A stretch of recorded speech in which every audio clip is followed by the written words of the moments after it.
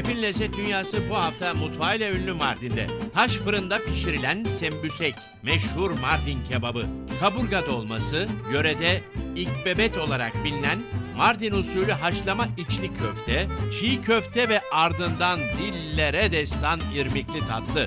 Şef Mehmet Soykan Anadolu'yu karış karış geziyor ve en güzel lezzetleri ekrana taşıyor.